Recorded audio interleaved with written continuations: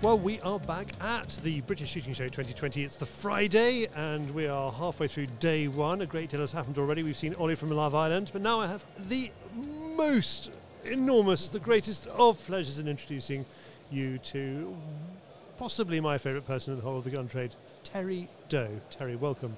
Thank you very much, Charlie, for those sincere words. Is that is that applause I heard there? Is that is that is that the sound effect for applause? I thought I'd bring some silly applause and stuff in. Thank I know he's going to be a funny character. Thank you, Aaron. Thank you for that. Let's talk. Uh, uh, let's talk about your whole life. I could have been on Love Island, you know, they just would have needed a bigger island. That was all. I could have been there. and, and fa- yes, la- larger mates, perhaps. No, you're, you're, you're just the right size. Can, can we talk about uh, can we talk about air gunning as you knew it when you first started?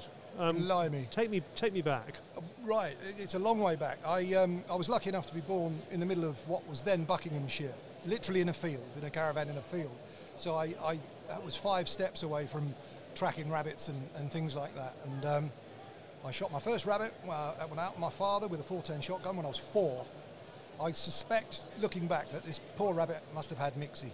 But um, I insisted on taking ownership of the dead rabbit and I carried it around with me for days and days. And various adults tried to steal it away and, and dispose of it for me, but um, it was like a cuddly toy. I would not have anything else. I wanted to sleep with it and everything, you know. Do you And know, um, I've, I've seen that. I've seen kids shoot their first rabbit, and that happens. You know, they, they, they actually want to sort of hold it and cuddle it, but it, it's difficult for children to kind of make that distinction. It, is, it goes from being Yeah. a nice fluffy thing to being I, did, I didn't even have that. So I didn't. We didn't have any toys and stuff. I don't want to do the Monty Python sketch or anything, but we were not well off. We had a, a single standpipe, hundred yards away from where from our caravan, and running water literally meant running and getting it on a on a pram frame in these enormous chrome churns that two of us required to push the the, um, the filled churns, and on the way up, one of them was required to hold the, the churns apart so they didn't clang, and your aunties and uncles didn't hear it and wave at you and say, "Mine next, do mine next," and um, you, you lived in, in constant fear. It, you know, we, would be filling these churns up, and the um, the kids in the houses would be throwing stones at us. So that's when I kind of learned first learned to shoot a catapult. Then, just to, as a self-defense weapon. yeah, I mean, this is quite, this is quite an important part of your life, and I'm not sure everybody. Oh, we, uh, we have this saying of noises off. oh, that's We, we have to take a short advertising intermission while somebody talks over us in the background. So please pause, everybody, give them 30 seconds. We can fill though. We can fill with all sorts of interesting things. well known for filling. Actually uh, like a custard cream, really. Ah, that's better. Um, people don't know that you, or many people don't know that you have got a very strong, very, very obvious traveller heritage. I'm a Romany. I'm, I'm, a, I'm a Romany. Yeah, I don't, um, I don't use the word gypsy or traveller. I'm a Romany. Um, gypsy actually is a, is a term coined in the, in the days of Henry VIII when um, he was bonkers, Henry was. Clearly, Um, clearly. Nothing at all to do with your ancestors or anything like that, but he was raving mad. And he thought that my lot at the time were harbouring emissaries from Rome, so he killed us for that. Um, because obviously the the the, uh, the Pope were, trying to throttle the monarchy with rosary beads at the time, and also they they thought that the Romany people were descendants from um, Egyptian temple worshippers. Egyptian gypsy. Egyptian. So, so the crime became acting in the manner of an Egyptian, and that's where the name gypsy comes from. So it's not kind of what I want to be known as. So No, uh, well, you haven't got much Egyptian in you, not you? a lot of Egyptian. No, I can walk like one. but, We'll, uh, we'll, we'll see that after. Anybody watching the video version of that can, But, uh, can now no. watch. So I'm a Romany. That's basically where we all started off in East India, and we sort of mooched throughout the world. And uh, our language is um, basically Hindi, with, with some pickups along the way. But I'm a very proud Englishman. I, I carry the, the St George's cross on my inside of my right arm and the Romany flag on the inside of my left. So wh- whichever way I cross my chest, the two things most dear to me are across my heart. And It's- that's it's- that's who I am. It's what you're feeling.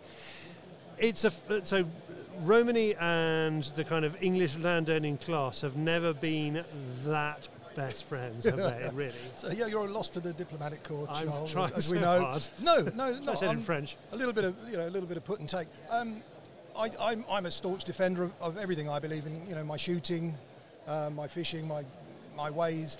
Um, a lot of people, there's a lot of people judge us in the now, and I can understand why people would be scared and, and fearful and resentful and all that sort of stuff. What they don't understand is, for instance, my parents, lovely people, my parents, obviously I would say that, they went through a full-on apartheid regime. when they were younger. Segregation at school. They couldn't even hang their coats with the non-Romany kids. They had to wave goodbye to their classmates, their non-Romany classmates, as they went off on school outings. They weren't allowed to go. Um, they had different start times and, and finishing times, even though their parents worked together in the fields around Buckinghamshire. We all worked together. But, and then the war break, broke out, and the evacuees were sent from London, and, and the Romany kids were thrown out of their school altogether. So it, you can that would have set up a little bit, a little sort of uh, bit of resentment on behalf of my people, but they didn't. They sent me to that same school. And, Even though that's what they've been through. yeah, they'd been through it, but, but uh, you know, it, it had had a regime uh, change after that. They went to speak to a very enlightened headmaster and headmistress. Things had changed, and they, in, in an act of, of unfathomable um, trust, they they gave their most precious, precious possessions to the people or the, or the system that had abused them terribly. It seems extraordinary, doesn't It it? is amazing what they did. And um, I remember my mum saying to me, I went to school at four. I was I was lucky enough to be reading at, at sort of early ages and stuff.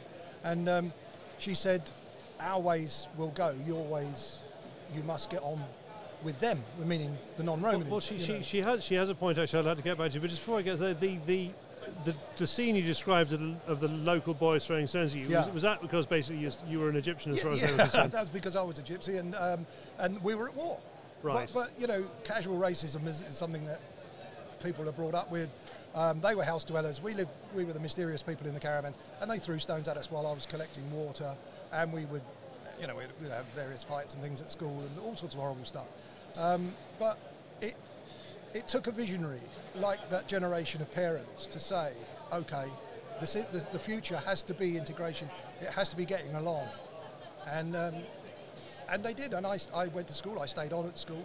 I wasn't a particularly brilliant scholar. I always wanted to be in the fields. I, I set snares on the cross country course instead of going home and doing my homework and things. But um, I, it was there, and I, I Turned you into the man you are today. Oh, well, I, I make I make a living doing something reasonably academic. You know, I'm a writer and. well, uh, you, you have this. I'm afraid you've you've become the person your, your mother warned you about, haven't you? Pr- Pretty much. pretty much. She loved me really, but she I, I did confuse her occasionally. Yes, when I was in my developmental period, when I was a bit wild. I mean, there was there is a sort of you know there's a first world we know what that is. There's a third world which Mm. is poor nations. There is a fourth world which not many people me- know means a kind of nomadic travelling world. Whether that is you know uh, Sami herders in the north of Norway or Mongolians or you you a traveller. yeah.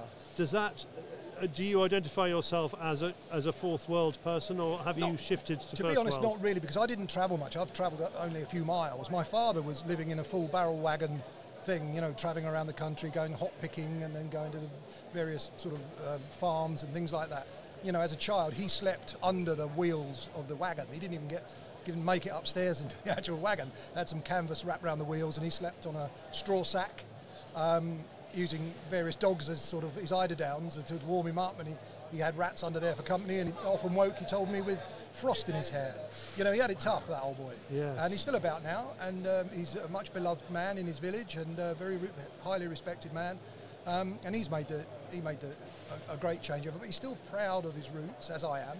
yes. Um, but he's, he still has an eye uh, and a consciousness on the future, which we all must have. Well, it's pride, pride in roots seems to be very important. I mean, t- tell me about. Uh, I follow you on Facebook, and one of the things I love is, is, is your chats about the local church, which, Yeah. which you're very keen on. Yeah. tell, tell me about yeah. that. Well, for a start, I'm, I'm the least churchy person in the world. I'm not, I'm not a practicing Christian much.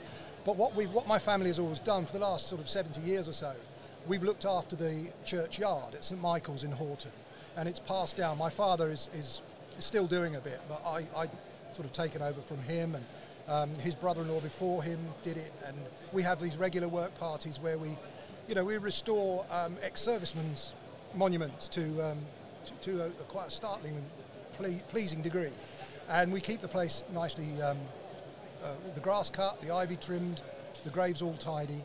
And it, it's uh, our way of giving something to the wider community and to our own community because it, segregation existed there. We were all buried in one, Yes, one of course. side. Yes, exactly. And uh, but it's okay, you know, we're cool with that. But we love that churchyard. We love what it represents. We love the people in there who shaped us and who gave us everything we are good, you know, good about us today. And also, it, it, it serves the wider community, the non-Romany community. And every year we have a big service there called Travelling Home that um, I get up and sort of waffle on, and we have Um, we break bread.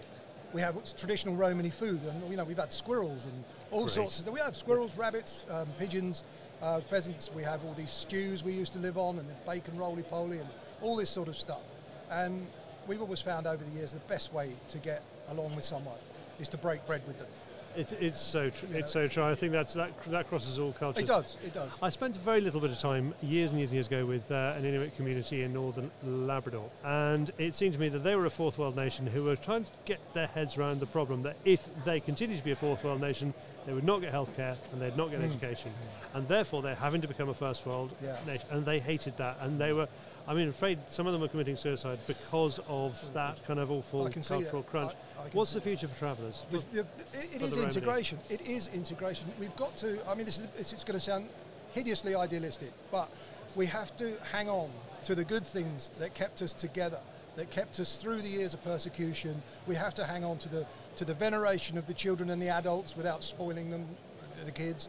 We have to hang on to the good stuff and embrace the, wider community. We have to do that, and, and most of us are, and, and society generally moves that way anyway. But we mustn't lose sight of where we came from. We mustn't lose sight of the good things that, that we've taken from that.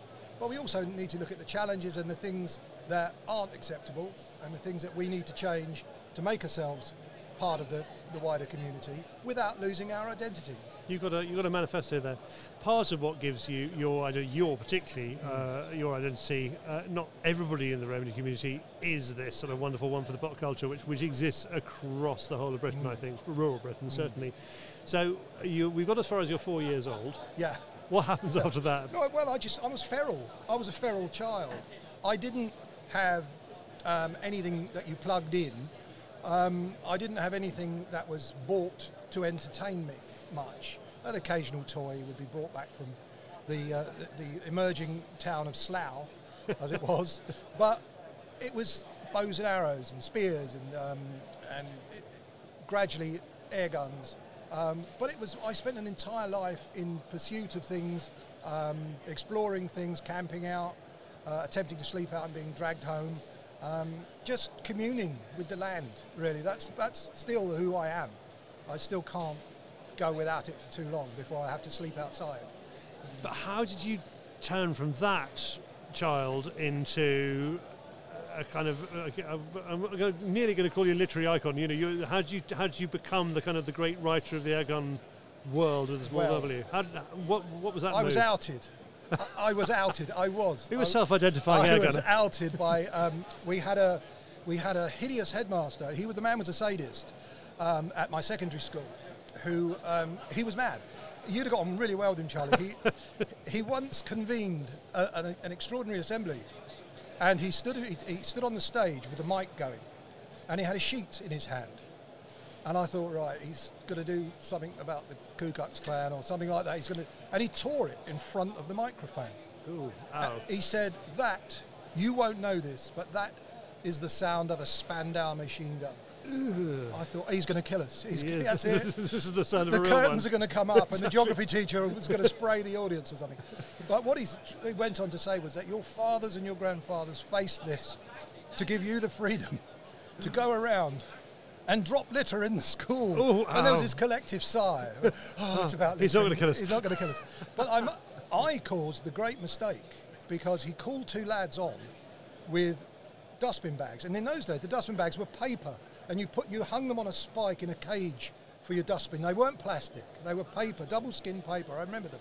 And he'd given them a pointy stick, and he said, "Punishment, you're late or something. Go and collect some litter." Yeah.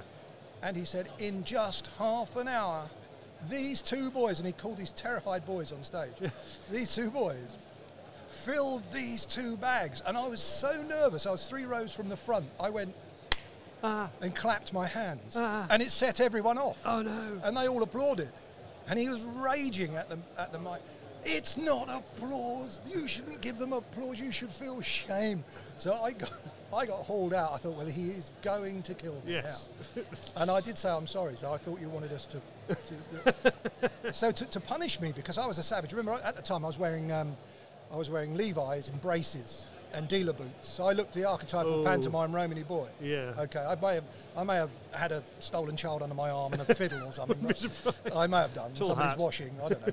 but um, no, I, I, I did look the part, and I, I I was in the I was I think I was in the fourth year at the time, which was I don't know what it is year, whatever it is now. Age about 13, and I should 14, certainly have been wearing the school uniform, but I wasn't.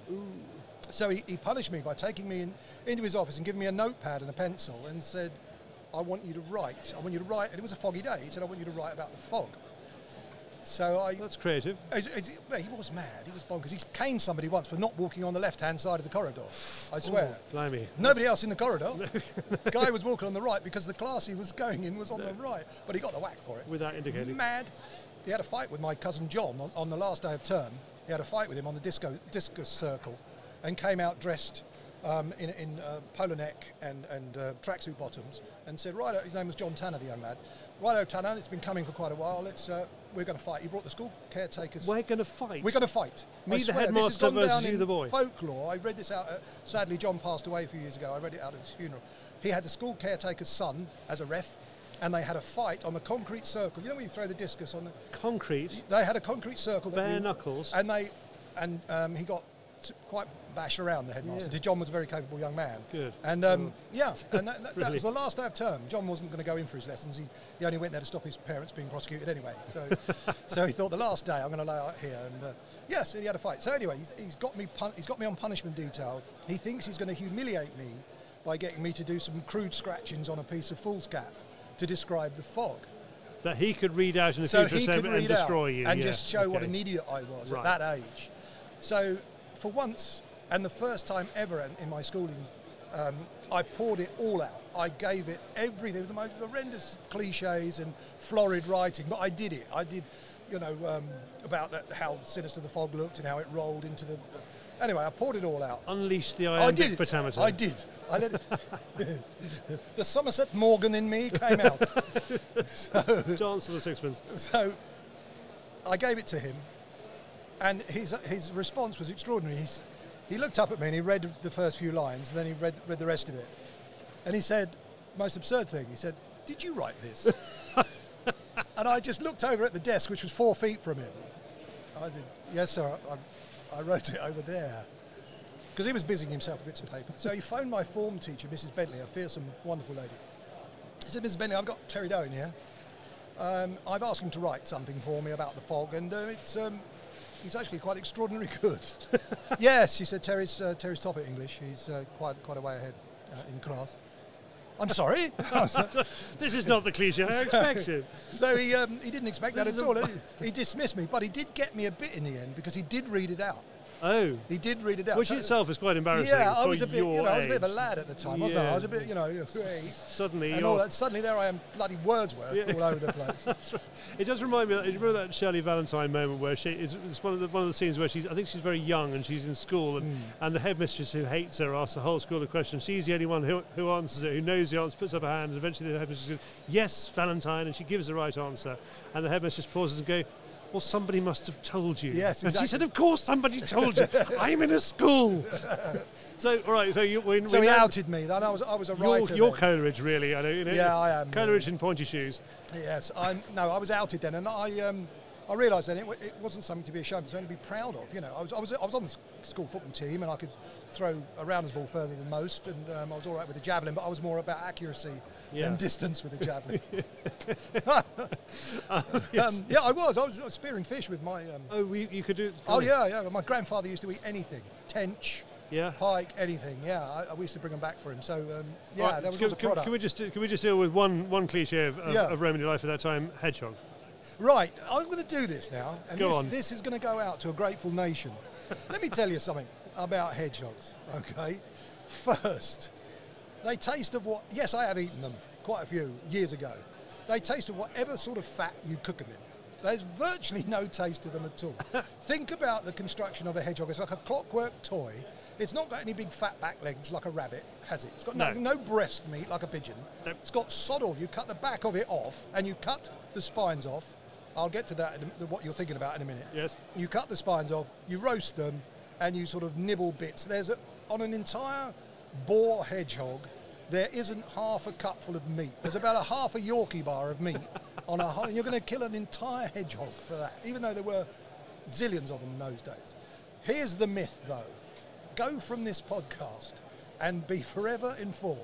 We did not, ever, not once, not at any stage in our development, bake them in clay.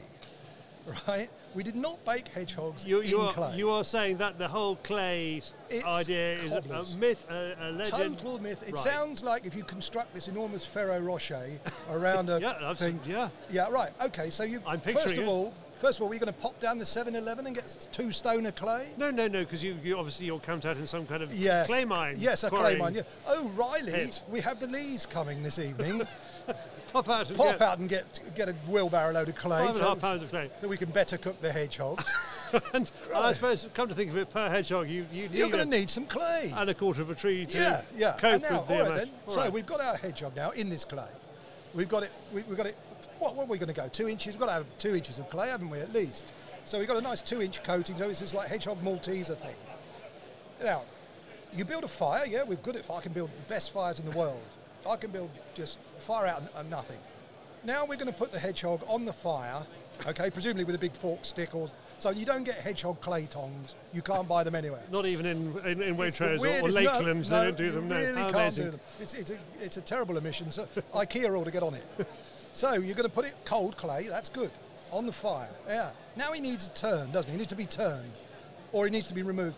How are you going to handle this semi-molten ball of clay? How are you going to handle that then? Surely with your charcoal blackened hands. Yes, no? of course you Apparently are. not. Of course you are. No, so you get it, you get it off the fire somehow. Again, I don't know, two sticks or something like that, and you put it on a sturdy surface.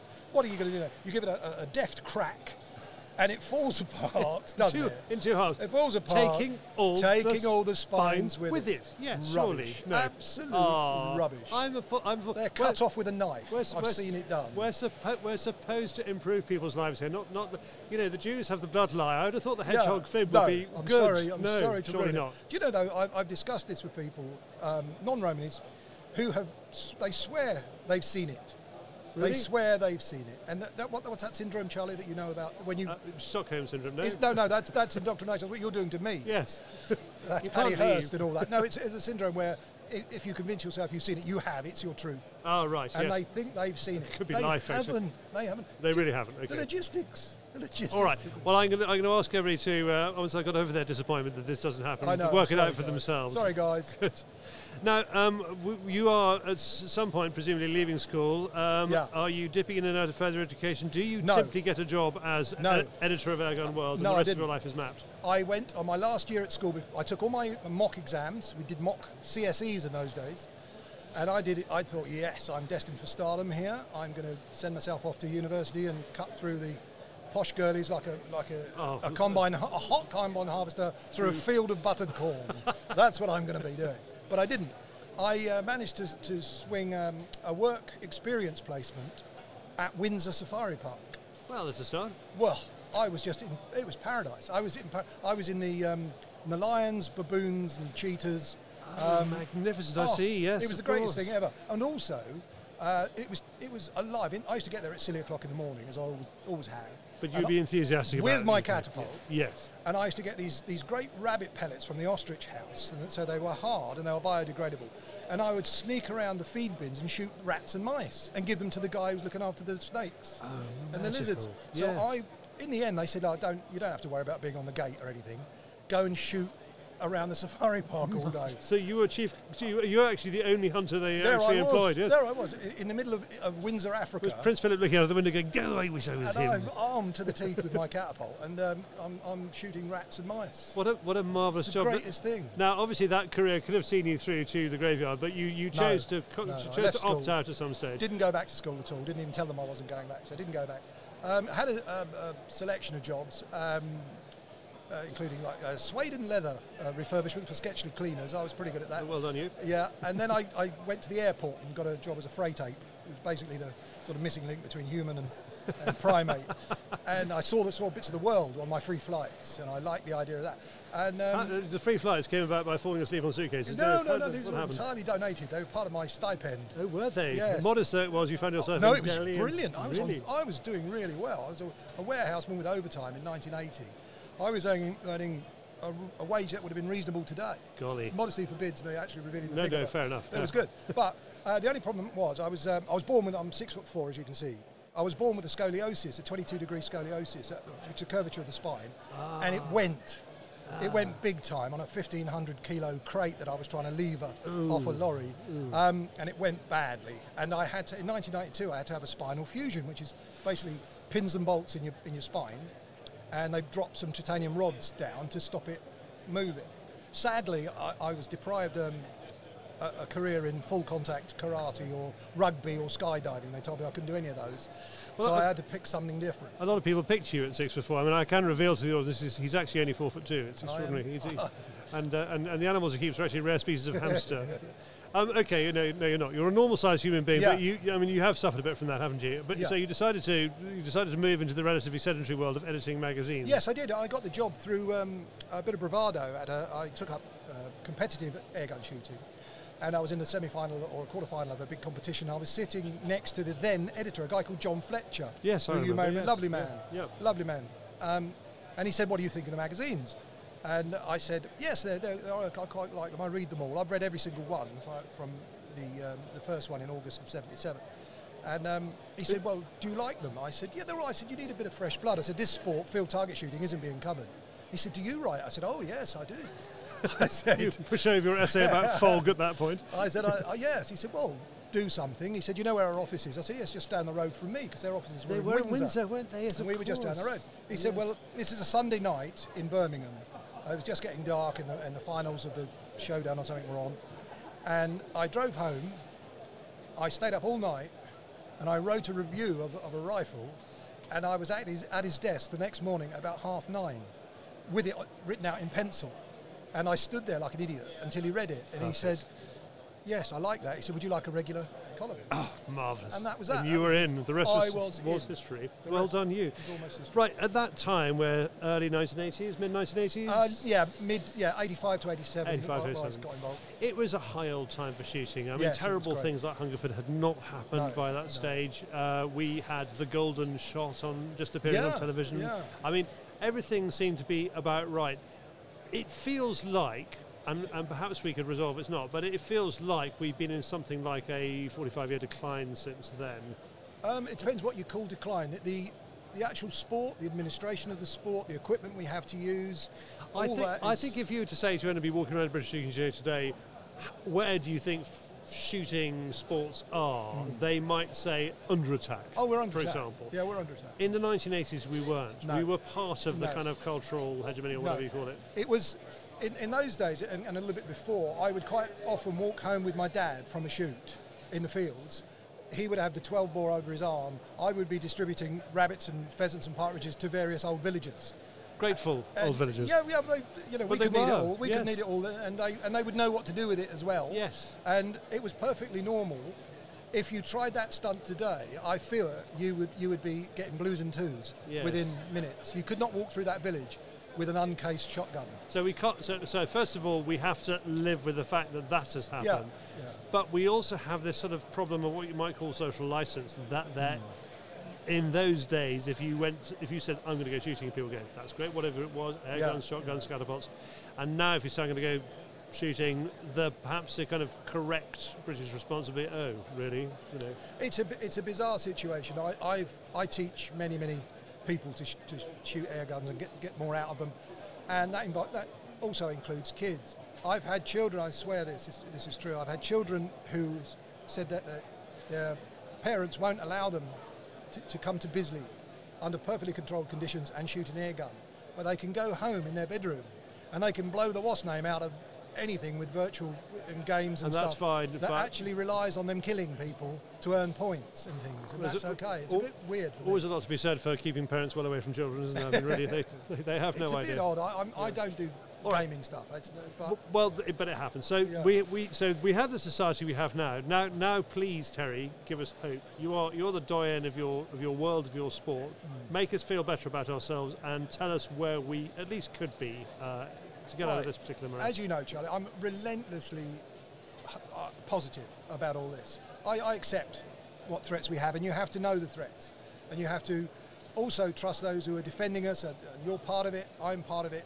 Um, we have to play a, a clever game, and we have to do our absolute best.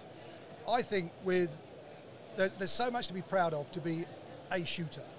You know, when I was a kid, to bring home food for the table was better than scoring a goal for the school football team. It was just that much elevated. It was it had a direct practical benefit.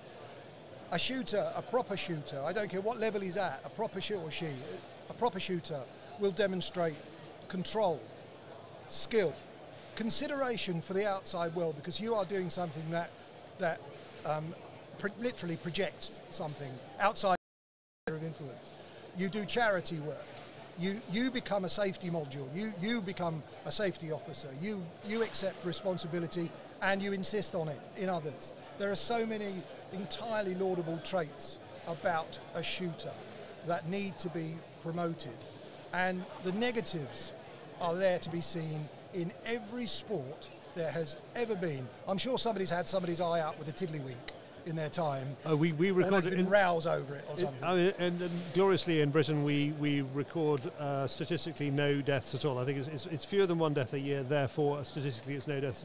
And a few years ago, we recorded a slightly better safety record than the sport of table tennis. Yeah. tragic year for ping pong, but it was uh, you know it was good for us. It- so you're talking about citizenship and responsibility. That and also, that, you know, I'm, I'm also I've not lost, I've not lost hope in, and that's fairness. I know it's naive.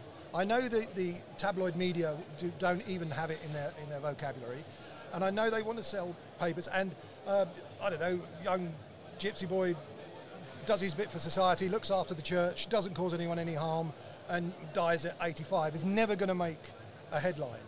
But there are so many more reputable shooters out there, times thousands, than the idiots we occasionally see plastered over the headlines. And again, I know I'm preaching to the converted, but we mustn't allow, the wider public mustn't allow themselves to be duped by people purporting to represent us, who absolutely represent the opposite of everything we're about. It's unfair. So keep being us Keep is a being the message. Proper us. Just keep being us. Have some faith. Embrace the sport. Embrace the positive sides of it. Be a good ambassador. And you, this sport, I, I'm absolutely convinced, this sport, in some form or other, albeit a change one, will endure. I love what you say. I'm not going to stop you. I'm not going to let you go yet because I just want to. I just want to cover a couple, just a couple more things. So I, I must cover carp because one of the joys about following Terry on Facebook is you, you learn a great deal about carp. And actually, sitting next to Aaron here, who uh, you two made a film together about Oh, we that. did. That's carpy. That's carpy. Can we just talk about that? Because the other thing you love is language. You, yes, you know, I love language. t- t- tell what, what does carpy mean first of all? Well, carpy, anything that's carpy is a sort of the, the distillation of, of the, the, the spirit that takes you out in a little bivvy on the side of a lake and you're there all pioneering. It's nothing like what's happening really. I mean, I, I go out there with a three, I have a three course meal, a rather nice bottle of wine, some port and a cheese board. it's it's, a, it's a joy to look at. It's yeah. Anybody wants to come on Facebook, have a look. I'm sure there'll be room enough soon. But um, yeah, that's carpy. Some people take it to silly silly extremes where they, they put their rods so close together they actually have to fold the reel handles up to get them in.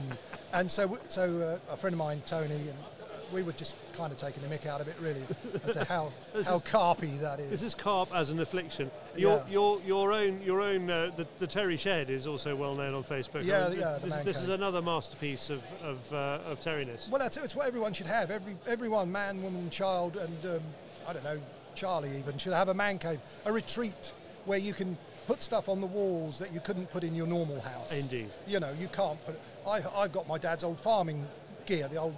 Um, I've got. A, I've got a six foot hoe on my wall. Everything in, everything in your man cave has a wonderful story. It has, and, it has and, a and memory. and a wonderful story beautifully beautifully told Oh, by you. Oh, yeah. No, we enjoy that. We Oh, I live that among my memories, and it, they, they provide the muse as well when I'm writing. That's why I do my best writing, there or outside.